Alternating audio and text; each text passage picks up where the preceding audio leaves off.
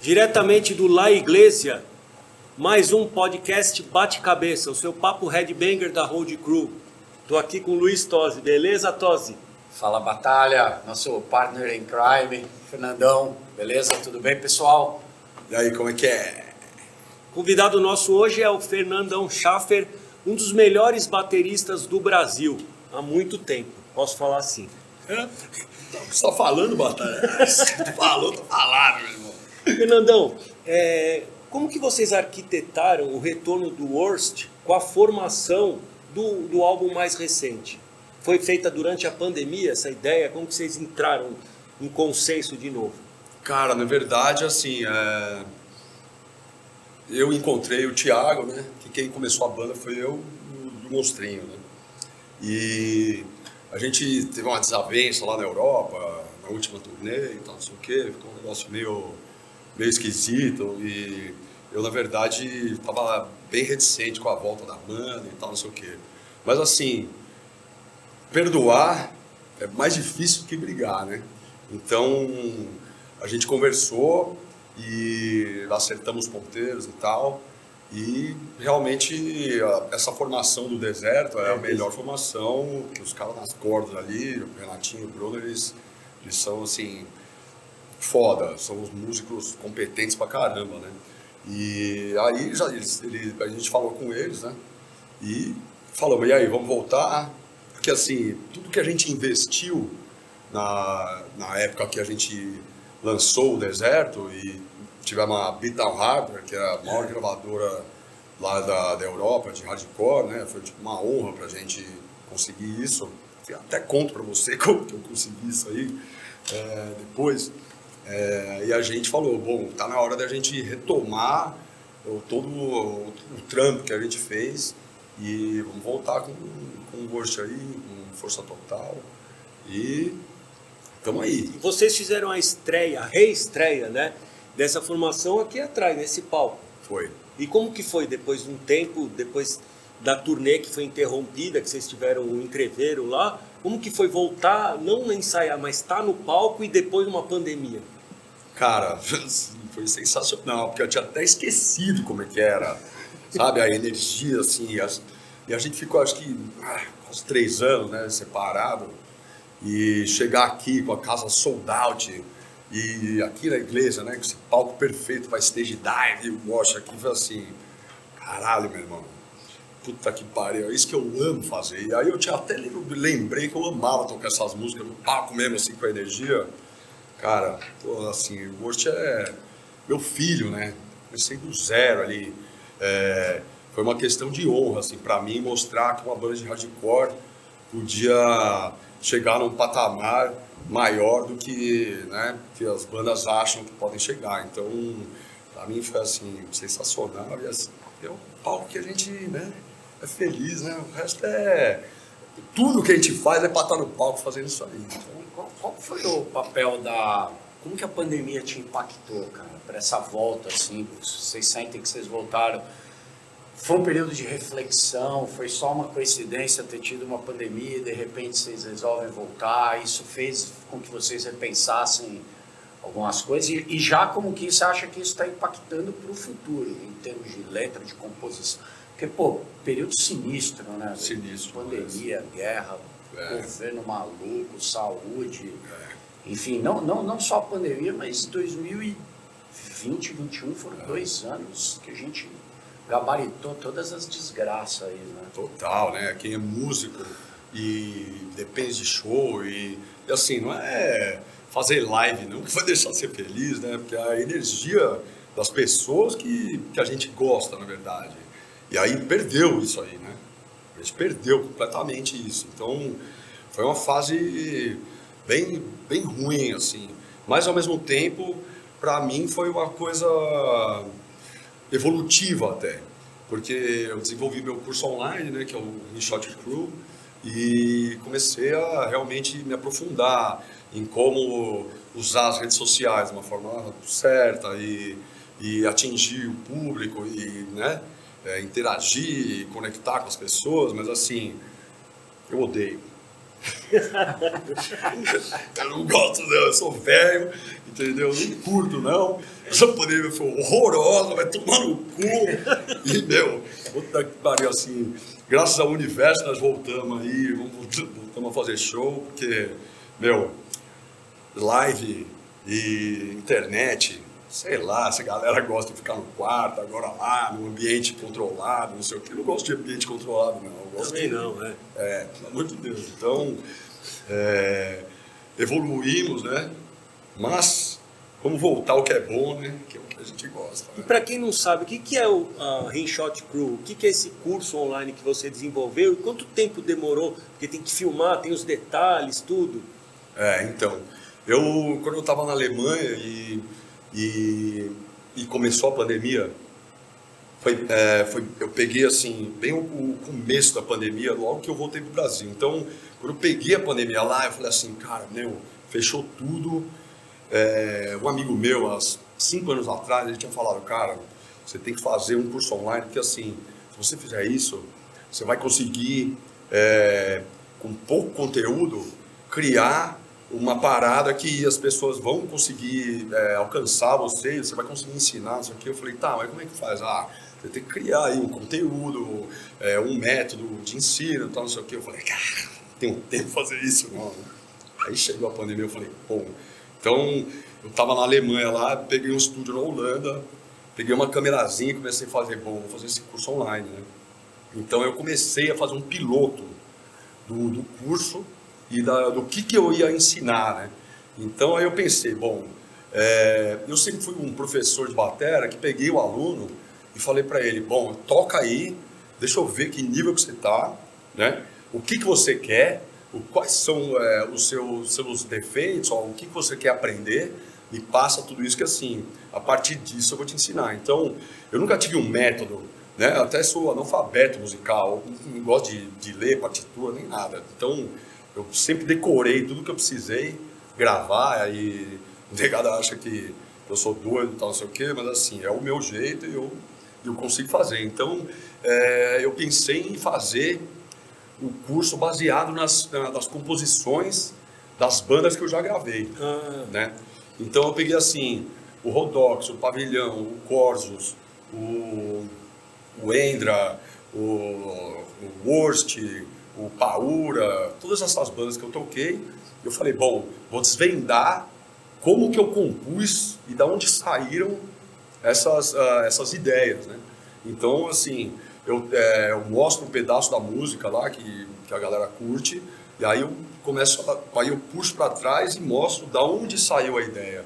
Então, cada, cada vídeo que eu faço é, nesse começo, foi baseado nas, nas composições das bandas que eu, que eu já gravei. Então é um curso online lá, eu boto um vídeo por semana, eu pego as três GoPro, ponho tudo lá, gravo no Dom Noise, e aí Perfeito. mixa, masteriza, tal, não sei o que, e pum, põe na internet lá no fernandochever.com. é Agora, tem Crew. um- uma coisa muito interessante que você falou que, tipo, ah, eu sou analfabeto e tal, só que você, é, o seu estilo de batera, de- do jeito de tocar, além da técnica, você se tornou uma referência de batera no Brasil. Tem bateras que eu olho, o Jean do laboratório, fala, ó, parece Fernandão. Meu, Já foi meu aluno. é. O Edu Garcia, você olha que era do Thread, tá? O Já John foi meu Wayne. hold. Aí você olha e fala, tem, tem coisa do Fernandão. E você tocando hardcore, ou mesmo trash, ou crossover, é, eu lembro assim, tem bateristas que eu, eu sei tocar um pouquinho de bateria, né? Então, por exemplo, tem bateristas que a gente via quando era mais novo, que ele tocando sozinho, você vendo ele, ele já é um evento. Tipo, Cozy Power. O ataque dele já é um evento. E você tem essa linha de. Se ficar vendo só você, já é um show à parte. Isso daí você foi desenvolvendo como? Cara, é assim, eu nunca gostei de copiar ninguém, entendeu? Sempre tive na minha mente é, de criar, entendeu? É, as minhas coisas. Então, assim, eu sou influenciado por vários músicos e tal, não sei o quê, mas eu sempre peguei aquilo que eu fui é, influenciado e sempre é, toda vez, eu nunca peguei tipo, um método assim e falei assim, ah, vou estudar esse negócio aqui duas horas, entendeu? Sempre sentei na bateria e falei assim, vou ter que criar uma coisa nova, entendeu? Entendi. E aí, é, a partir de, desse lance de criar, criar, criar, eu acabei, acho que, criando uma identidade, né? Que fica é, realmente a, o meu jeito de tocar, né? Então, é isso que, é, que chama a atenção, né? E, assim, é, a bateria conversar musicalmente, né? Não só ser o, a base ali para as coisas, mas você ter um, uma conversa, assim, um começo e meio e fim ali na música, de evolução ali de, de coisas meio até minimalistas do, do jeito de compor, mas que, a, que o, o cara fala, cara, esse cara, pô, que filha da mãe isso. Então eu sempre pensei em, em, em atingir quem, quem me ouve de uma forma é, assim, né? Então, assim, você ser um músico e ah, ser um sideman ou, ou ah, tocar cover, é, não, me, não me satisfaz, não. Agora, quando você foi começar o curso, deve ter sido interessante porque você foi revisitando a sua carreira, né? Total. né? E você vai revisitando com o olhar de baterista. E aí, assim, qual que é a, a, a, conclusão? Você consegue ver uma, uma, uma evolução sua clara? Você fala, puta, eu tinha uma pegada assim, que foi se moldando mais assim. Você resgatou alguma coisa? Falou, puta, isso é algo que eu tinha, que eu meio que abandonei. E tem alguma coisa que você mudaria olhando para trás hoje? Você fala, porra, cara, agora que eu voltei nesse disco de 20 anos atrás, hoje... Como, como foi revisitar a obra inteira aí ah, para fazer o curso? Foi foda, assim. Tem coisas que... É eram mais simples de tocar e tipo o Pavilhão 9, que era mais groove e tal, não sei o quê, tem umas ideias legais ali, foi fácil assim, mas eu peguei uma do Rodox para fazer lá e eu falei, ah, essa bateria que eu fiz aqui, eu mudei, fiz outras coisas, ficaram bem mais legais, que assim, quando você compõe e você acaba gravando meio rápido, a música não está madura o suficiente, tanto é que você vê que os caras ao vivo, eles põem umas coisas, às vezes, que você fala, porra, meu, olha que do caralho. Então, a música tem que amadurecer realmente, né? E eu peguei algumas coisas que eu me falava, nossa, é, realmente, mas, ó, o Endra, por exemplo, que era death metal, porrada pra caralho, rápido. Eu falei, meu irmão, eu não toco isso aí mais não, cara. Malhar pra tocar, porque assim, tocar esses uh, death metal e som mais rápido, realmente você tem que estar tá num num, num estágio físico fudido, né? Não é só você chegar, não é que nem bicicleta, tem que parar e malhar o negócio voltar, né? Mas é, mas é legal, cara. Eu tô curtindo, assim, reviver todos esses momentos aí da carreira. É bom. Na verdade, cada banda tem, tem uma cara diferente minha, né? De composição. E, da, e na real, assim, é um apanhado de de tudo que eu sei misturado. E se você for ver, né, o Fernandão lá tocando. O que, que o Fernandão, professor, fala pro, falaria para o Fernandão de 25 anos atrás aí? Que dica que você daria aí? Ah, eu ia falar, ó, Fernandão, faz o seguinte, ó. Você tem que focar na sua carreira como baterista para você ter patrocínio o mais rápido possível, porque você está quebrando muita coisa, vai dar prejuízo em você, irmão. E você falou das suas primeiras referências e tal, mas na sua casa, seu pai era sambista, você começou a tocar com 12 anos. O lado dele ser sambista, da percussão do samba, isso chegou a influenciar você a querer tocar batera? Total, né? Total, porque eu comecei, é, depois que assim, eu vi o Rock em Rio 1 lá, né, mudou completamente, né? Eu, eu, tocava um samba ali, tinha uns instrumentos de percussão, a primeira coisa que eu fiz foi tacar o, o tantã aqui, o pandeiro, entendeu? O tamborim, já comecei a fazer a bateria ali no, em cima da cama e falei, ah, não preciso ser baterista esse negócio, né?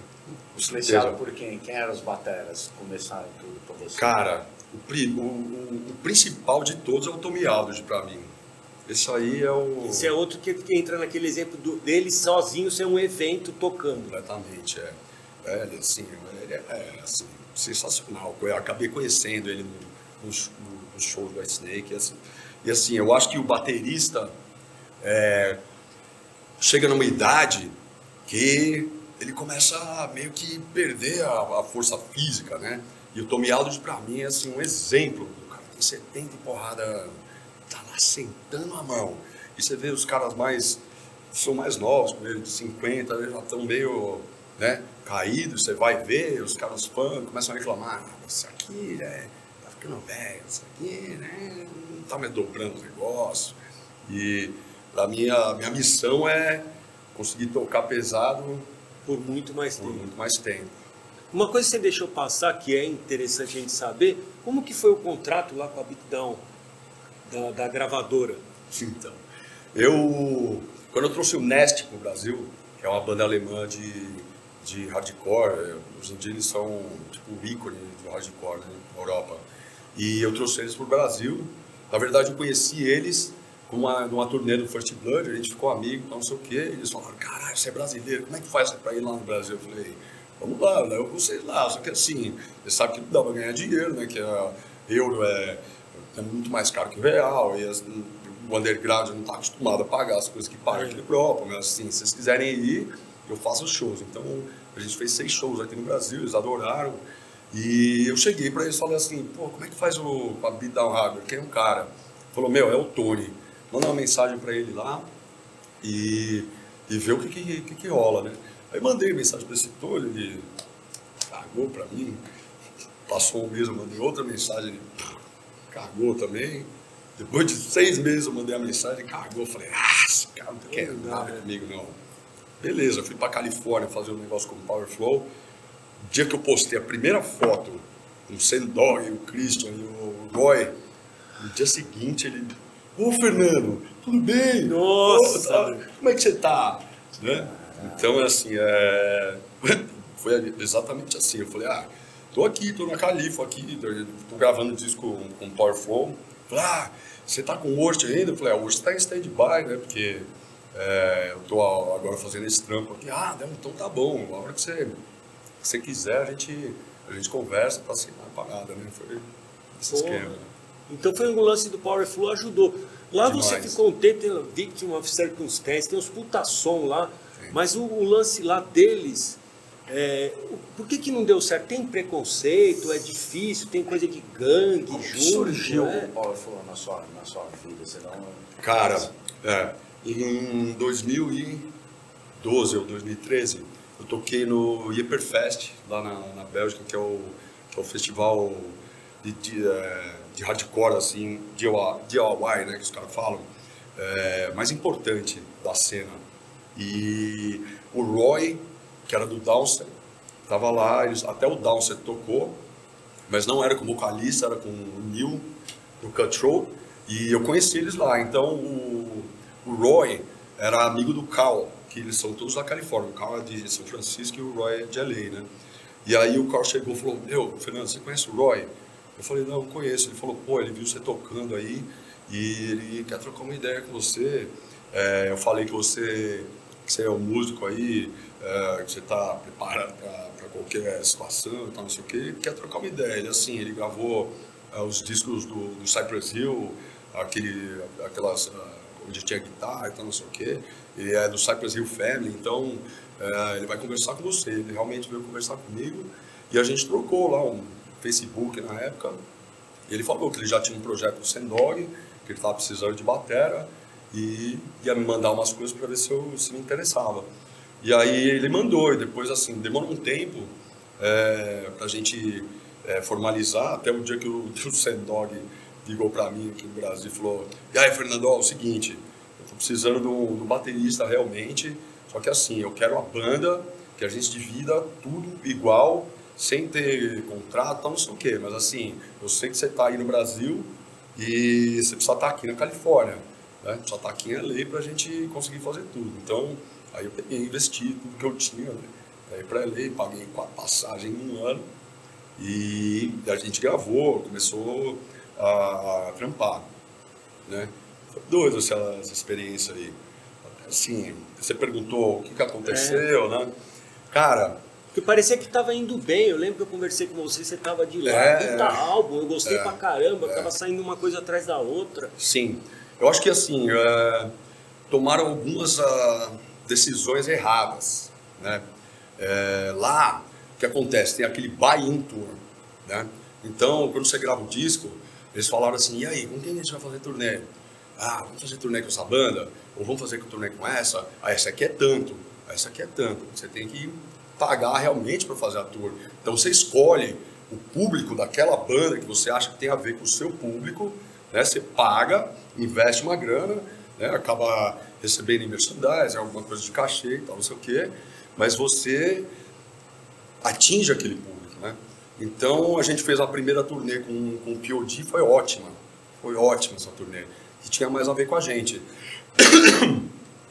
Aí teve uma turnê com Brujeria que a gente fez, que essa turnê meio que deu uma quebrada na banda, assim, e lá, como é tudo muito, é grana, né? É, assim, era 80 mil dólares para entrar na turnê, entendeu? E a gravadora pagava, mas assim, tinha que vender em álbum e reverter esse dinheiro. E aí, a gente fez essa turnê com Brujeria, e ah, os clubes eram todos de 3 mil pessoas quando a gente viu o, a, a, a, turnê, e a, a Live Nation, né, que fazia a tour, começou a ver que não estavam vendendo tantos ingressos né, antecipados. E aí começaram a mudar de clube para duas mil para clube de 200 pessoas. E aí foi um dinheiro que não foi tão bem gasto, entendeu? E, ah, cara, sei lá, tem, são várias coisas, né? Eu acho que assim, o Sendog, como um frontman, ele tinha que ser um cara é, aquele rapper, né? É. Rapper. Então, assim, eu tinha que ser o ICT. ICT comanda, né? Então, ele... Eu acho que faltou um pouco dele esse, esse lance dele ser o cara mais, uh, mais power, assim, para ter uma banda de, né, de metal, new metal, ou, ou o que seja. Assim, eu fiz meu papel e mas lá você enfrentou esses negócios, pô, brasileira, imigrante, tem negócio de gangue, tem esse tipo de coisa onde você estava, pelo menos, ou no meio lá que você viveu? Cara, não, até que não. Até que não, porque a lei, é, o lance das gangues, é, foram mais, foi mais nos anos 90, é, né? 90. Nos anos 90 era mais pesado. Assim, teve um show que a gente fez em Sacramento, e aí colou, assim, uns 10 Hells Angels, né? Que é a casa deles lá em Sacramento. E aí os, os caras me viram lá, pô, você é a matéria do Flow, né? Brasileiro, tal, não sei o quê, já começou a beber lá e tal, não sei o quê. O Sendói passou por mim assim, hora e falou, meu, não saque esses caras, pelo amor de Deus, mano, não põe eles no busão, não sei o quê. Aí o Billy já, pô, mas os caras são fãs da gente. Ah, porque eles têm clube de moto. E... Mas acho que esse lance de gangue assim, foi o único que, que rolou. É, não vi muito problema. Assim, eu vi alguma coisa é, nessa turnê do Brujeria, em Estocolmo, e eu passo uns, uns picos bem assim. E a, não sei se a mexicanada não, não curtia muito a, a onda do, do rapper, hum. sacou? É. Aí fica diferente, né? É, então, total. Saco bem isso, eu morei do lado e eu passo, cara. É. Então a bandeira do Novo México. Oh, sim, mano. Depois a gente conta essas histórias aí. Foi demais. Uma coisa que eu queria que você explicasse, que você já tocou vários estilos, mas a sua vida, se eu posso falar assim, é do hardcore. Explicar tipo assim, os tipos lá, é, crossover, beatdown hardcore, the beat, sabe? Esses tipos de hardcore, qual que são, quais são as diferenças? Trashcore, tem tanto estilo, alguma coisa básica assim para o pessoal entender. E até uma diferença não só do estilo, mas bateristicamente falando aí, como é que você aplica cada uma dessas técnicas? Cara, eu acho assim, o hardcore é mistura de, de punk, né, com, com metal, né? Na verdade, é a, a, conjunção dessas duas coisas que, que fizeram o hardcore, que assim, se for pensar no hardcore Nova York, que tem a onda mais como se fosse São Paulo, que é mais tough, é mais rua, né, que é o agnóstico, o madball, e tem o hardcore mais Califórnia, né? Então, assim, a minha tendência sempre foi o hardcore mais pesado e, e o mais metal. Então, como eu sou metaleiro mesmo, eu criei e sempre gostei de um estilo de hardcore mais maldoso, né? E cada banda realmente cria uma, uma identidade ali e, sei lá, cria um estilo, né? Então, assim, o, beatdown, uh, o hardcore beatdown, é, tem um estilo, assim, é, que começou mais é, na Bélgica, começou, tinha várias bandas, tanto é que o Nest é da Bélgica e tem várias bandas que são de beatdown. E, e tem um estilo bem característico, né? É, que deu uma bombada, mas depois também baixou um pouco. Então, assim, o Hate Breed virou um, um hardcore, mas virou muito metal, né? Os, os, os, fãs de hardcore no começo torcem um pouco o nariz, né? Do, jeito que o Hate Breed foi. Mas você vê que a história do Jamie Jasta como apresentador do Red Baseball e tudo não sei o quê, ele virou um, um ícone, porque ele conseguiu atingir é, é, abertura para o Kiss, abertura para Alice Cooper, e ele levou o hardcore realmente em outro patamar, né? E o que ele conseguiu é... Pô, ele transformou até a carreira do Dee Snyder, né? Pô, então... Pô. Ele gravou um disco agora com, com o Corpse Grinder, né? É, isso. Vamos via, animal demais. Então ele, ele viu que assim, os Estados Unidos realmente, o hardcore é uma coisa... Não é grande, né? Não é grande. Você vê uh, o Madball, o Agnostic Front, que são essas bandas que vêm, vão para a Europa e tocam um clube para mil pessoas, nos Estados Unidos eles tocam para 100 negros e tal, né?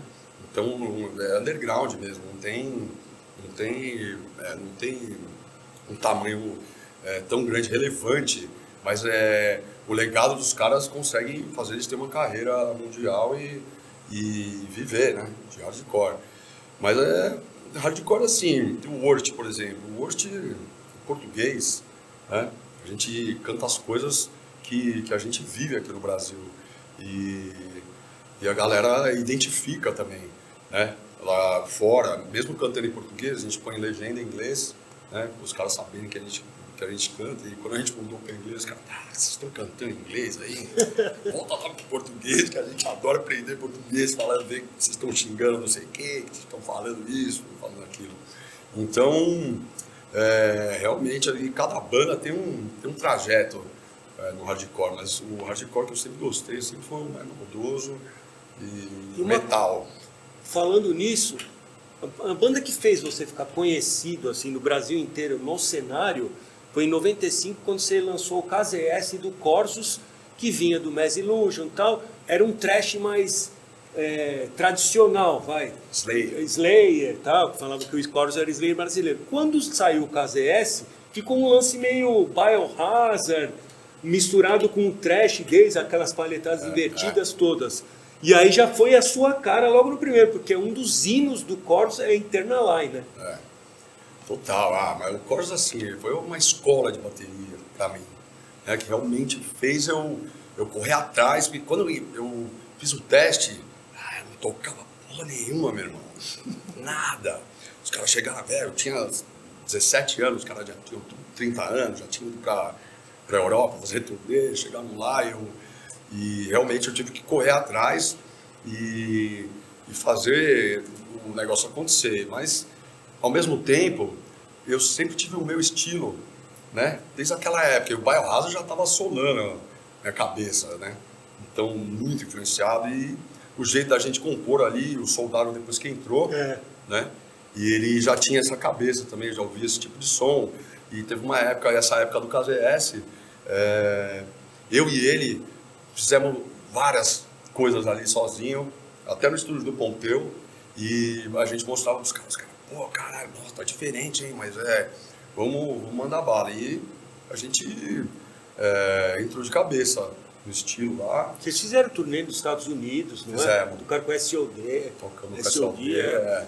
Com Biohazard, foi, foi animal, é. Foi animal. O caso é essa aí, vamos dar o furo? Vamos, vamos ver. Breaking Vamos news. dar o furo agora! hum.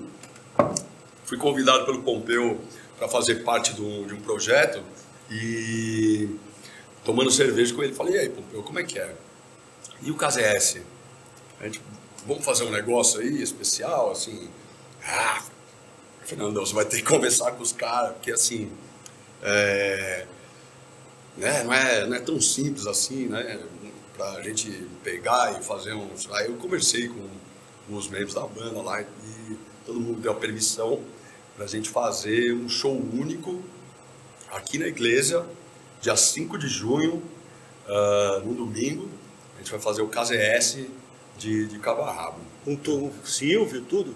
O Silvio, o Soldado, Dick, Pompeu e eu. Quem gravou o disco. Puta, que animal. É, vai ser doido demais, assim. É, é, eu gostava de tocar essas músicas também, pra mim vai ser um puta prazer. Só de estar tá reencontrando os caras também e, e, e reviver a época lá, o KZS, pô, se bobear foi um dos discos mais foda que eu gravei, né, com o Steve Evans, que é um produtor gringo, agregou muito uh, ao aprendizado de gravação e, e como uh, realmente porque na época lá não tinha, não tinha Pro Tools, né? É, não, não tinha, é, bem diferente. Legal. E tinha que tocar de verdade. Ele foi um cara que ele realmente extraiu da gente ali é, o nosso melhor. E eu, eu percebi com, como ele é, trabalhava, isso aí fez a gente evoluir muito na época. Então, bom, bora o caso é esse aqui, já esse vai ser demais, hein, meu? Esse vai ser animal. 5 de junho. 5 de junho. Aqui. A gente, obviamente, com um Road Crew Special aqui cobrindo, vai ser né? demais. Vamos fazer Esse os bastidores, demais. trocar um, uma ideia com a galera aí, vai ser... Vai você falou, você tem uma proximidade com o soldado desde o KZS, é, até antes da gente era da turma lá do Black Jack, ele tocava é. os Van Halen, você tinha o Spirit, né? É, é então, Spirit. desde aquela época antiga lá do Black Jack, e você está com uma outra banda, que é o Hostland, né? É. Que é com o Veco, Sim. que hoje é do laboratório, mas era foi do, do composital, era do Tret, né? Também você tem proximidade total com o Veco, do Treta, né? Sim. E com o Soldado. Mas aí, aí vocês gravaram no estúdio do Rodrigo, no Dharma, né? Do Rodrigo Oliveira do Corsos. E, mas não tem vocal. E quando que vai sair esse projeto? Quem que é o vocal? Cara, assim, a gente, a gente fez oito, oito instrumentais. E foi bem no começo da pandemia, quando eu voltei pro Brasil. Falei, e aí, Soldier, o que você tá fazendo aí? Vamos, vamos tocar aí, meu irmão. Vamos fazer umas coisas novas. Vamos baixar essa afinação aí, fazer uma onda diferente. E, cara, eu percebi. Eu fiz turnê com o Desoleiro, fiz turnê com o First Blood, com o Cutthroat, que são bandas. É, da, o Desoleiro é inglês, né? E o, e o First Blood e o Cutthroat são americanos. Eu vi, cara, assim, que esses caras, eles sentem é, quando alguma banda canta um inglês genérico, que é cópia, realmente. É como se chegasse um, um vocalista aqui, americano, e cantasse um samba e que não quisesse que todo mundo gostasse, tipo um sotaque americano, né? A gente vai ficar assim, é legal, né? Aquelas coisas. Então, minha ideia foi assim, porque Cara, se você não entra nos Estados Unidos, né? Independente do tamanho do público lá, porque essas bandas aí, como eu falei, eles não têm um público enorme, uhum. mas eles falam para um nicho de pessoa ali, né? E aqui, a gente, quando a gente canta inglês, é um negócio meio, realmente, fica meio genérico. A gente fala, a gente canta inglês porque né, a galera na Europa até curte, mas é, se você não entrar nos Estados Unidos e, e, conquistar aquele nicho ali, fica difícil. Então, minha ideia foi fazer esses instrumentais aí, escolher uma música foda que a gente gravou no, é. Rodrigo, e a gente vai lançar ela no Spotify, vai fazer um clipe, uh, vai lançar no YouTube, e a gente vai lançar um concurso para achar o vocalista, uh, um concurso worldwide para achar o vocalista. Então a, gente, é, então, a gente vai lançar a banda com esse concurso procurando um vocalista. Então, é o vai ter o hostelland.net e a gente vai botar todos os vídeos de todo mundo. hostelland.net porque as mídias, cara, elas estão assim mercenárias demais, né? Muito. Então você fica escravo. Eu quero desfazer esse negócio e trazer as pessoas para interagir fora da, dessa, dessas da mídias. Mídia social, é. pelo site. Então, é, então a gente vai lançar a banda com esse concurso e vamos ver quem vai entrar aí. De repente entra um velho aí, o Felipe não sabe, não sei. Vai saber. E o som ele é mais lento, né? É mais. O Rossland é. é tem umas, Qual é a referência, então? E, e, e, você tem. É, é foda porque eu acho que a ideia de fazer esse concurso é poder dar essa liberdade aí, estar tá aberto ao, a um pouco ao desconhecido. Sim. Mas você tem um pouco na sua cabeça aí o estilo de vocal que você, que você gostaria? Eu como tenho. Você... Eu tenho. É, assim, o conceito da banda, o nome já fala, né? O Hostel Land. Então a gente vive numa fase mundial que, que poder tá, tá né, fudendo com, com tudo. E tá deixando realmente várias terras uh, hostis, né? Aqui no Brasil também. E, então o conceito é assim, de liberdade, né? De você poder fazer o que você quiser e em cima disso o vocalista vai, vai criar as letras, vai ter total liberdade para botar as letras, né? Claro que a gente vai uh, ver não só se o vocal do cara é foda, mas uh, o jeito que ele pensa, se é parecido com, com o nosso e tal. E, mas assim, é, é gritaria, meu irmão. Gritaria, podrão e, sei lá, versátil, né? Porque é muito groove, então pode ser um vocalista só de metal, né? Eu quero um cara que groove, eu não quero um cara que, que imite a base, eu quero um cara que faça uma história nova em cima da base, né? Crie um outro elemento realmente para agregar no negócio inteiro. Então, o concurso acho que vai ser a melhor coisa para a gente achar esse cara. Aí. Uma coisa que você falou, liberdade. Mas, por exemplo, hoje tá todo mundo um cancela o outro, não sei o quê, tem qualquer coisinha já sai aquele negócio. Como que se você soltasse hoje as letras do Treta, ia ser cancelado em 10 minutos? Já fui cancelado. Já foi. ah, já fui, mas assim, eu eu não tô aí para ficar ultra pop, não. Eu quero que os caras gostem de mim, de verdade, e não precisa ser muita gente, você entendeu? Porque eu tenho o meu jeito, entendeu? Eu respeito o jeito de todo mundo. Tem gente que não respeita o meu jeito, eu tô cagando para eles também, entendeu? E assim, é, realmente, se soltasse o dedo hoje em dia, ia ser. Não ia dar. Ah, é, é. Eu tenho mimimi do caralho, mas assim, adoro treta, né? A gente fez a banda lá em 90 e bola, né? Então tinha um monte de tabu, tinha um monte de coisa. E realmente, hoje em dia, Mas tem muito contexto, né, cara? Você olha para trás e fala, porra, coisas que Eu não 20, posso 25 mais anos atrás eram, eram toleráveis ou aceitáveis. Não, não dá para você tentar trazer para o dia de hoje. Né? Até mesmo o ataque, Coisa né? que vocês, porra, cara, óbvio que as letras do Raimundos, as letras dos, dos Mamonas, é. Entendeu? Então você não pode tirar do contexto. O cara não tá gravando o Robocop gay ou, ou a menina lá da roda gigante do, do- dos Raimundos em 2022. É. Em 2096 aquilo lá era a época da tiazinha, da feiticeira, era, É. era sexista, era, era muito mais machista, era muito mais, enfim. É. Né? E evoluímos todos, né? Bom. É, assim, aquela. Tem uma letra do, do Treta, que foi a letra que é, deu um bafafá todo. A gente tinha um, um pensamento que é completamente um pensamento que eu não tenho mais hoje em dia, né? É, tenho vários amigos gays aí que me respeitam pra caramba, gosto de todo mundo, não tenho preconceito nenhum com nada, assim, entendeu? É, sei lá, se algum familiar meu é, quiser, quiser virar gay também, cada um tem, né? A liberdade de ser o que quiser, certo? Então, mas aí ficam rotulando aí, isso não sei o que, ó, faz o que vocês quiserem, não estou preocupado com isso. E numa outra área das- da, da sua carreira, você tem duas coisas que, que foram interessantes também. Não é todo mundo que lembra ou que fala que você tocou com o Kiko Loureiro, que é um. Só de falar o nome dele já imagina coisa técnica, né? É. E um outro lance que eu queria que você falasse é aquele que você ia nas baladas, balada de boy mesmo, Boy, boy. montava a bateria e tocava com sampler, um lance diferente. E depois você parou com isso, mas era um puta negócio legal, né? Ah, cara, a, a música eletrônica aí no, no começo dos anos 2000 estava muito grande aqui no Brasil, né? Então, eles queriam realmente coisas diferentes, né? E eu comecei a tocar numa balada e com DJ, sempre fazendo jam session, nunca teve ensaio nem nada, os caras pagavam uma grana legal.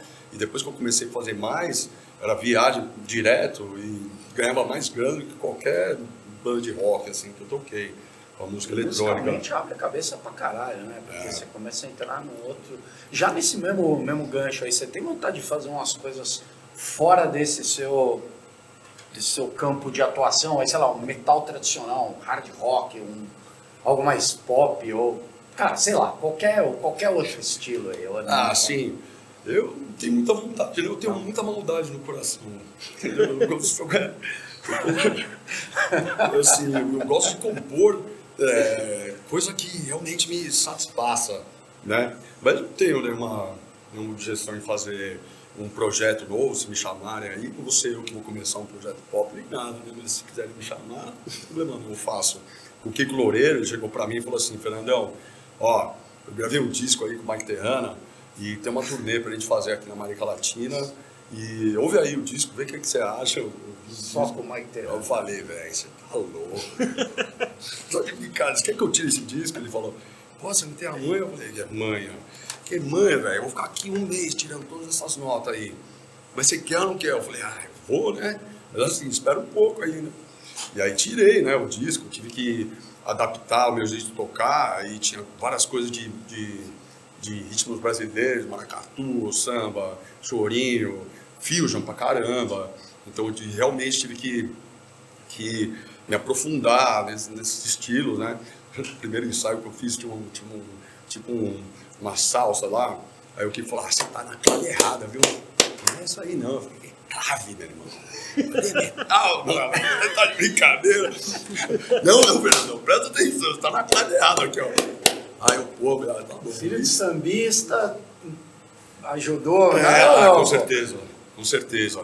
Eu acho que assim, ah, os músicos brasileiros são uma influência indireta do, do samba que deixa a gente mais gruvado, realmente diferente do, de quem não é do Brasil. A gente tá mais Sim. acostumado, né? Ah, tá é, acostumado você- desde criança a escutar, assim. Ah, né? é, escutem diretamente, né? Você É tem um groove, a gente sente em bateras brasileiras, eu acho que é, que é inevitável, mas você não foi para aquele caminho do quero incorporar elementos brasileiros, e aí, porra, até para a época do, do, do KZS era o Roots bombando, o Angra cheio de elemento brasileiro. Ah, tinha, uma corrida por, por brasilidade no, no som, né? Filho de sambista, você não caiu nessa. Não, não- sentiu essa pressão também? Do tipo, Cara, tem, mete, mete repique aí. Agora eu vou contar um negócio pra vocês. A gente fez uma introdução pro KZS, que era um negócio bem. virou tipo um sambão. Um shaker, não sei o quê. O Bauer, na época, o falecido Bauer, levou um monte de instrumento de percussão. A gente fez tipo um drum circle, igual o Sepultura, não sei o quê. Depois que acabou, ele falou. "Ah, Esquece esse negócio. Ficou muito assim. Vamos mostrar que a gente é brasileiro e seguir o caminho do Sepultura e do Angra, não sei o quê. Então, na época lá, a gente falou: ah, vamos deixar quieto, porque realmente está parecendo que a gente. Copiou. É, E gravadora não, não metiu uma pressão? É brasileiro, quero batuque, porque anos 90. ah, cara, na época do, do Corsa era Devil, né? Ah, então não tinha nada. Tava, então era, tinha Não, mas e daí ia ser um negócio também. Mas vocês chegaram a gravar isso? Gravamos. Gravaram. Gravamos. Então existe o negócio. É que assim, tinha, a banda tinha acabado de perder um guitarrista que entrou soldado, que era o Nicastro, Nicastro, né? é, o Nicastro é. virou sambista, porra. Total. Nica do Cavaco, é sério. É, sim, sim, não, o próprio, o próprio Carlos também, né, do, do- do- da Dorsal, depois ainda também Foi, foi. outras então, foi uma bandas. época aí que o- É. o, samba e o metal deram umas... A Lica do Cavaco levou o cavaquinho lá nessa tour da Europa que o Costa fez lá em 92. Eles ficaram tocando. Os caras, É. Acabava o show, ele pegava o, o, o cavaquinho começava a mandar o som. A galera acho que curtia mais que o show de metal. Puta, E esse 5 de junho aqui, aí, revisitando isso, tem alguma surpresa aí? Alguma coisa que ficou de... Enfim, além do disco na íntegra, algo ainda Ah. não pensado? Ah, a gente é, começamos a conversar sobre isso. é, realmente a gente vai tocar as a, a primeira ideia é tocar o disco do começo ao fim, na ordem, e fazer algum, algum cover que a gente tocava na época lá. Mas assim, tá tudo ainda conversável. Primeiro a gente tem que. Eu tenho que voltar a tocar rápido pra conseguir tocar o PDS, meu irmão. Agora é só groove, né? Aí eu tenho que dar uma Qual que é o preparo físico? Qual que é a técnica para voltar essa velocidade aí? Como Cara, é sentar o cu na bateria e tocar. Repetição. É, é, tem que ensaiar. E tocar sozinho também hum, é meio foda, né? Então, assim, quanto mais ensaio, é, um, tempo, um tempo hábil, né, pra gente fazer o show, eu, eu, vou, eu vou chegar nesse, nesse pique aí, mas se tivesse que tocar o KZS agora, eu cagava as calças. Uma parte de bateria, mas tem uma coisa interessante que é até legal você falar, que é o lance da forma física sua. Porque você, tipo, pô, o Fernandão, porque era é obeso. É, eu tinha 150 quilos. É, aí você depois se transformou, puta, ginástica, forma É. física. Como foi essa transformação para você? Cara, eu, assim, eu realmente. é, eu sempre fui do esporte, né? É, jogava basquete, meu pai levou para fazer boxe quando eu tinha 9 anos de idade, então sempre gostei de esporte. Quando eu comecei a tocar, realmente me, me desliguei um pouco do esporte e, e fui pro metal, né? Então, assim, comia pra caralho, me cuidava, engordei, fui engordando, engordei. Tanto é que chegou, cheguei a 150 quilos, chegou uma hora que eu falei assim, cara, tô gordo pra cacete muito. Então que é, realmente voltar para o esporte. E eu não tinha muito problema para tocar, é, mas depois que eu comecei a emagrecer, eu vi que comecei, facilitou muito a minha vida. Né? E musculação, e ficar mais forte, e ficar mais ágil, com, com mais gás. É, eu consegui, a minha performance, cons- conseguia, eu consegui melhorar muito a minha performance. E isso aí eu peguei gosto. Né? E, e aí emagreci os 60 quilos e desde então é, mantenho a forma física e eu vejo que se eu paro de treinar, começo a ficar mais fraco, minha performance realmente cai. É aquele negócio que eu falei, né? Do, É. do, do músculo velho que começa a já ficar meio caído, eu só ia lá. Não aguenta meio mais. caído. Então os caras me viram tocando porrada e eu tentar fazer o máximo para ficar, né? Tem a, a gente, a gente tinha, eu tinha falado, você fez referência do Edu Garcia. O Edu Garcia até nisso parece com você. O Edu também era gordinho, né? Era gordinho. O apelido dele era. É, é. Aí hoje está um em exemplo forma. também aí. Outro de exemplo. Superação também, forte pra caralho, tocando pra cacete. Vai fazer o curso, fez o curso também de Sim, Com batera. certeza. É um puta batera é, relevante é, no meio aqui. É, fez, é, ele, ele, ele tem um esquema também de, de procurar outros bateras, né? É, a época que ele falou com o Thomas Hack lá do Mexuga, teve um contato com, com ele. é, eu acho foda, o Edu, eu curto, por causa do Edu. Esse, assim, a gente falou do Orsi pra caramba, então vocês tinham um ritmo que era meio alucinante, meu. Negócio de compor pra caramba, ter disco um atrás do outro, aí turnê sem parar. E agora, voltou e vai ter o que agora?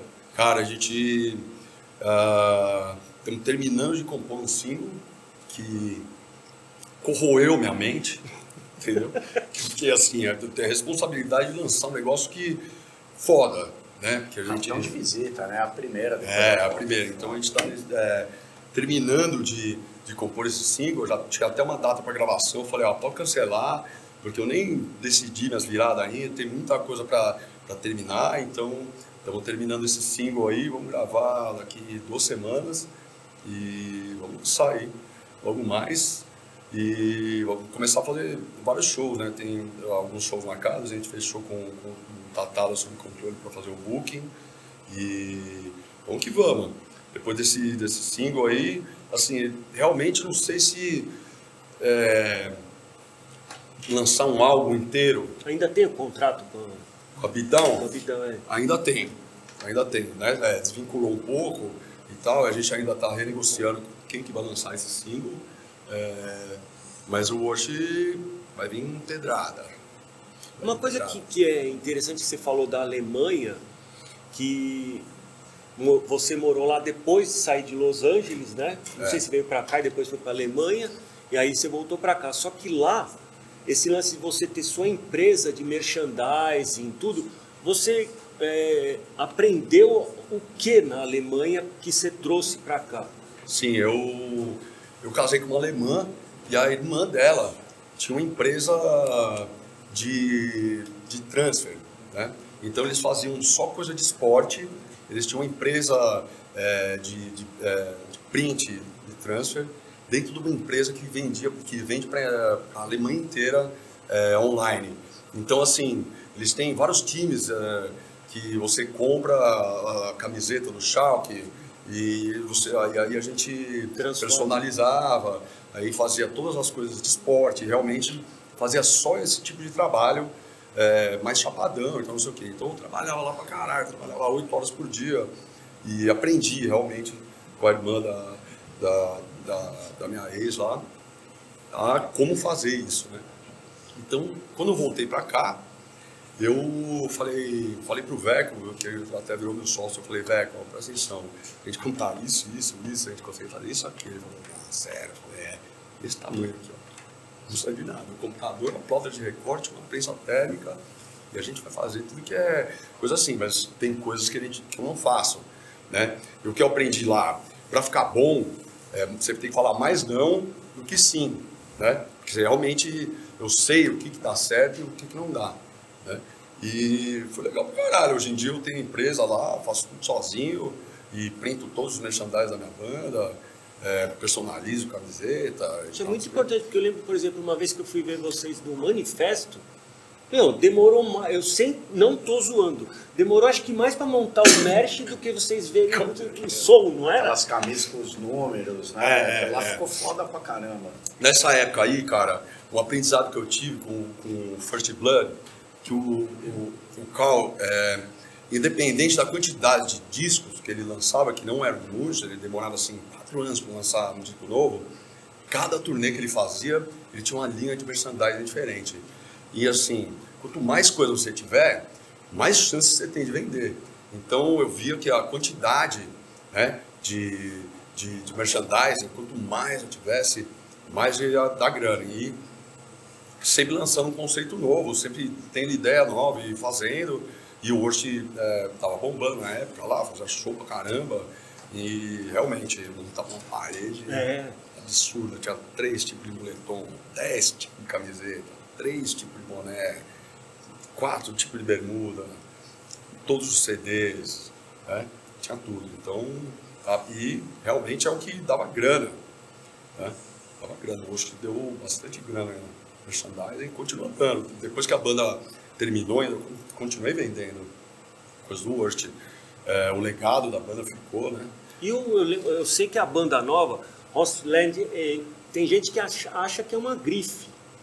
De tanto que você estava é. tá mostrando o Mesh, né? É. Isso aí é uma grife nova, né? Tipo, sei lá, atitude, não sei o quê. Não, é uma banda. É. Legal demais, assim. É... Cara, o merchandising é o que consegue levar a, o underground para frente, realmente. Porque as pessoas, a galera que gosta, eles gostam de usar aquilo, eles não querem usar, né? Você tá aqui, é. você vai lá. Todo mundo aqui, né? Representando alguma coisa que realmente gosta. E tem muito campo para ganhar grana. Merchandising. Agora o Hostel Land tá aí, né? Uh, worldwide Heavy Shit. É. Que ainda não tem o conceito das letras, né? Porque assim, o merchandising. Ficou, condensou é, legal. Né? responde muito ao conceito. Ah, total. é, né, é, é, é parte de letra e o, o, o, o disco que você lança, o conceito do disco. É.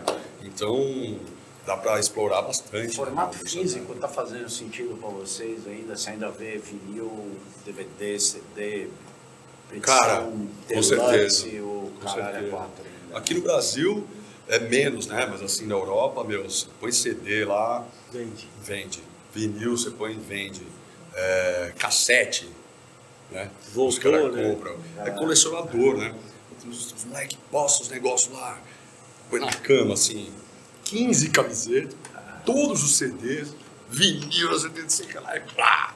Aí, ó, oh, Fernandão, você tem algum negócio lá? Não tem mais esse negócio não. Puta que pariu, onde é que eu vou arrumar isso, velho? Sei lá, onde você vai arrumar. Sua coleção, quem cuida é você, né? A galera curte colecionar as paradas. Pô, isso é legal demais, né? Legal demais. De várias idades, né? Não é só velho. É. A gente ainda quer, né, cara? Ainda quer, ainda tem que ler é, kart, ler é, eu sou da, é, eu sou da época que assim, você pega o álbum, você vai ouvir o álbum inteiro de cabo a rabo, né? Lendo as letras ali, conectando com, com o conceito que a banda passa. E, e, e, forma, né? Eu acho que puta, a maioria da, da, da, da galera que está assistindo a gente tem esse comportamento. Parece que fecha todo, todo o rolê, né, cara? Quando você tem a oportunidade de ver a banca, depois, a ver a banda, depois você cola na, na, na banquinha do match, pega o CD, a banda autografa, pega uma camiseta, é. pega um negócio, pô, você volta para casa com aquele É um, é um, é um negócio muito É, e assim, ajudar a banda É né, isso. a sobreviver, Isso, é. eu acho que é o, é o- o mais legal, né? O que eu, que eu vejo, assim, que a galera aqui do Brasil peca um pouco, é assim, pô, você vai no show da banda que você gosta, você não vai levar um negócio pra casa, né? É, a então. banda, além de estar ajudando a banda, você vai ali, tem uma parada que é uma lembrança, né, da, daquele rolê. Então, na Europa, assim, a primeira coisa que os caras fazem é comprar o merch e aí sobra o dinheiro pra beber. Aqui galera bebe, Bebe, lá se sobrar, fora, compra o Não, merch. eu, eu gosto de. Eu, eu Lá fora tipo- ainda às vezes bebe, né? É, Eu sou do tipo que já vai com o, com o dinheirinho do, do merch contado, do merch do campo, porque é o que eu falei, você volta pra casa com aquilo, é. porra, 10 anos Esquece depois mais. você tá usando a camiseta, você lembra daquele, é o seu souvenir do negócio, né, cara? Cara, tem a sua história ali. Tem, cara. Tem um lance de vocês que de vocês da sua carreira que assim você trabalhou para muitos públicos, tipo metal, hardcore, tudo. Mas já você já chegou a ter problema com o lance de skin, de falarem que vocês eram uma banda skin, que não sei o que, de treta assim? Ah, cara. O cara fala. Ele fala muita besteira, né? Eu, assim, respeito todas as, a- as, as tendências aí, todos os estilos, mas, assim, nunca fui skinhead, nunca meti um suspensório, sacou? Nunca paguei de ou nacionalista, ou, ou isso aqui, ou, ou aquilo ali, entendeu? Meu lance sempre foi hardcore mesmo, e sempre fui influenciado mais pelo hardcore Tough, de Nova York. Então os caras, assim, a galera que realmente não entende, acha que é skinhead, ou tem a cabeça tatuada, não sei o quê, mas isso é ignorância pura. Então, assim, eu, depois do tempo, aprendi a relevar esse negócio, assim, falando assim, ó, o dia que você aprender, aí você, você vai, você vai, tipo, ah, pô, falei merda, né? E, e sei lá, posso até pedir desculpa, mas é, é, já teve, tem, teve muita coisa ah, isso aí, pô, e já uma coisa negativa que já acabou refletindo em, em é, galera é, contratante de show querendo desmarcar show, que nem falam bosta na internet, falando que a gente é isso, que é aquilo, não sei o quê, que eu sou fascista, eu sou maior maconheiro, é, doido do mundo, meu irmão, se eu sou fascista, então todo mundo vai querer ser fascista, Ah, né? fala, pô, manda, manda É. fala, cara, lê as letras aqui que você não É, vai conseguir achar traço nenhum de fascismo. nada. aqui, aliás. Ah, total. É que assim, é agressivo, né? É. É agressivo. A gente. Eu sou um cara que. é, desde quando eu era moleque, é, a gente vive no, no Brasil, que era hostel band. Então, é, eu sempre me defendi na mão, sacou? Nunca fui um cara super é, calmo, não sei o quê. Então, arrumei briga pra caralho, não sei o quê. E talvez podem, possam falar alguma coisa pelo, pelo jeito agressivo, mas é, sei lá, não tenho nenhum é, pensamento de é, fascismo, de coisa de, de, de- de controle, e o cara era quatro, eu, como eu falei, o Hostel Land é liberdade. Então, eu acho que assim, eu morei na Alemanha e do lado da Holanda, eu vi países eles são é, civilizados, têm as leis, mas a lei não precisa ser usada, não, entendeu? Porque tem um bom senso. Né? Por exemplo, na Holanda é liberado fumar maconha, mas ninguém fuma na frente de criança. Entendeu? Se tem criança, o cara não fuma na frente da criança. Então tem um bom senso junto, né? Então, assim, para o Brasil chegar no bom senso, acho que vai demorar um pouco. né? Vai. Então, olha, para encerrar, a gente tem o a gente tem um momento aleatório, só que eu vou trocar esse momento aleatório para encerrar. Eu não vou fazer disputa nenhuma. Eu vou jogar na sua mão uma bomba para encerrar, para você falar assim, qual que é o disco definitivo da sua carreira? Ele já existe ou ainda vai existir? Ah, vai existir. Com certeza, vai existir. Teve discos assim que ah, eu realmente gostei pra caralho de fazer um deserto do Worst. Se alguém quiser ouvir hoje em dia é, alguma coisa que que a minha ah, sei lá minha característica melhor ali as minhas melhores composições realmente o deserto é, ouve lá, você vai entender que é o Fernandão. Mas os melhores discos estão por vir. Aí o do Hostel Land, por exemplo, puta que pariu, não vejo a hora de lançar esse negócio. O Deserto, para quem não sabe, é o, o, mais recente álbum do Worst de 2018. Está é. disponível para ouvir em tudo quanto é lugar. Spotify, Até para comprar também pela gravadora lá. Com certeza. Se dá um hardware ainda vem no Deserto. Demais. E esse, esse single, então eu vou, vou soltar só mais uma. E esse single que vocês estão aí prestes a gravar, é, é, é, uma, é uma continuidade orgânica, vamos dizer assim, do, do deserto. Você vê, cara, foi, pegamos de onde paramos. Não, acho que evoluiu pra caralho. É. Evoluiu. Porque é, eu, eu sempre estou ouvindo coisa nova, entendeu? As coisas mais pesadas, mais novas, eu sempre fico buscando, porque eu não quero ficar atrás desses gringos, não, entendeu? Eu sempre estou buscando quem está fazendo coisa mais nova, coisa mais foda. E eu nunca parei de. Então, desde 2018, é, vieram bandas aí que estão fazendo músicas assim, é, e, o, e, jeito de compor completamente diferente do jeito que a gente compunha, uh, não só em 2018, mas para trás.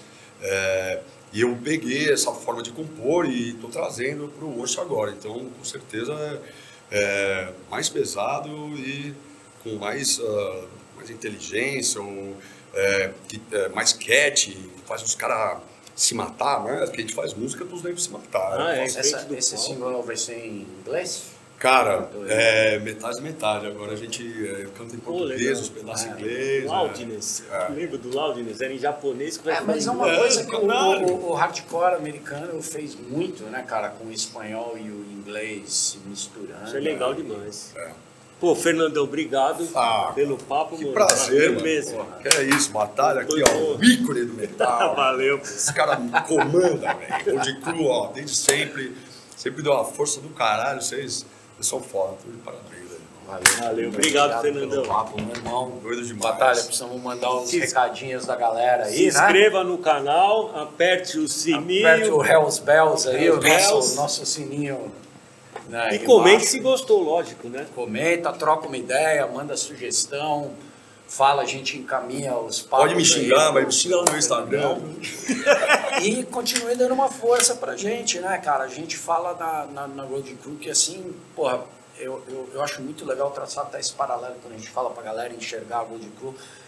Nós, é, é, quase que a mesma relação que as pessoas têm com uma banda, né, cara? Que assim, no final das contas, nós somos todo mundo provedor de conteúdo, de entretenimento, de informação e todo o mesmo jeito que ajuda pra caralho uma banda quando você compra o CD, quando você compra o merch, ajuda pra caramba quando você faz uma assinatura, quando você passa na banca, compra um conteúdo, entra na lojinha, que é o que ajuda a fazer esse, esse essa Tudo cena isso. toda acontecer, né, cara? Então, é também é super importante esse like, esse seguir. Com certeza, com certeza. Fazer a cena crescer de uma forma aí homogênea que todo mundo, né? O de Cruz sempre tá aí ajudando todo mundo, vocês merecem. Vai, assina lá, meu. Vamos trabalhar Agradecer, mais. obviamente, o La Iglesia aqui mais uma Sim. vez. Obrigado, puta pico aí, enfim. Ah, cara, a igreja aqui essa, é essa casa. melhor clube de São Paulo. E não percam o KZS na íntegra. 5 de julho a gente vai fazer um Road Crew Special aqui, já estamos botando a coisa em pé aqui. Vamos vir gravar com vocês aí. Um... Nossa, isso vai ser demais.